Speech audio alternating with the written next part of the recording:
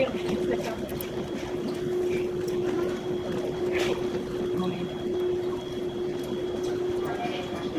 Trade Center. There's a fire at the World Trade Center. The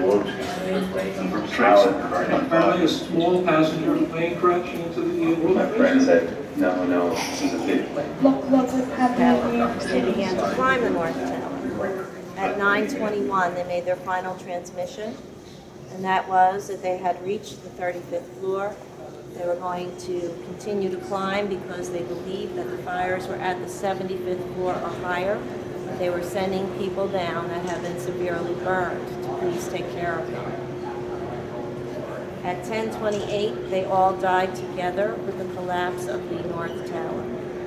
They were 11 of 343 active duty firefighters, and this was one of 200 trucks that deployed down here to help us out.